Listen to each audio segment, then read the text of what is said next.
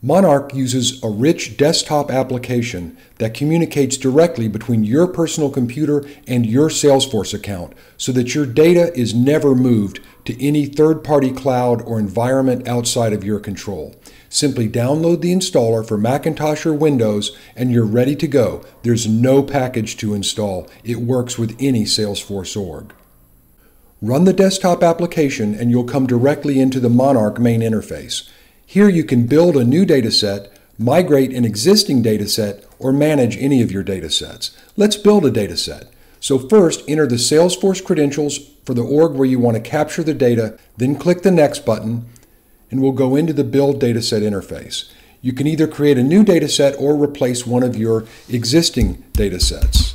You can use a new template, an existing template that you've created in the past, or one of our pre-built templates, which make it really easy to build a connected set of data.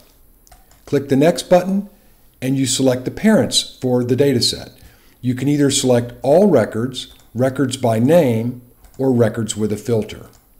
Next, you select the children that you want to use. For example, opportunity line items are connected to opportunity and opportunity is connected to account. You can select the fields that you want to load and lastly, you can build the data set.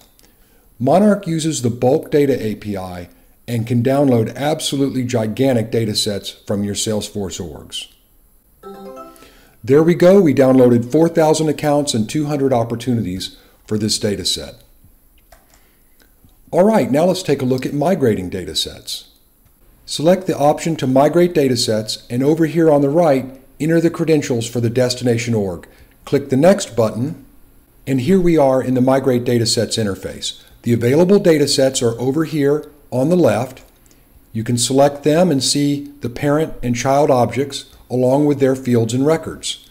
Click the Next button and you can select fields to match the destination objects by. We could match contact by name and let's also match by email. Click the Next button and you can select fields to scramble on the destination. For example, annual revenue. On the next screen, you can deactivate workflow rules, validation rules, Apex triggers, or flows while the dataset is being migrated. This cuts down on lots of errors. Here's the migrate screen, which has powerful options for moving the dataset into the destination org. And there we go. We migrated 4,000 accounts into the destination org. There were a couple of problems. For example, some of the email addresses were invalid, and so now you can find those issues in the error logs.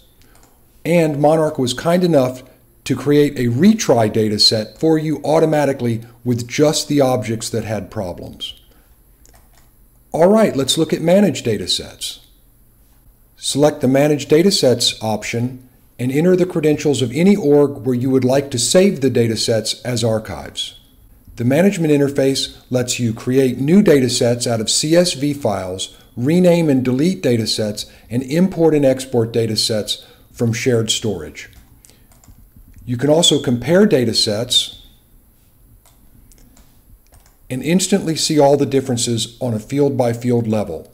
If you check these boxes over here, those datasets are included in a roll-up report that can be exported as CSV, PDF, HTML, or Excel files. All right, that's a quick look at Monarch.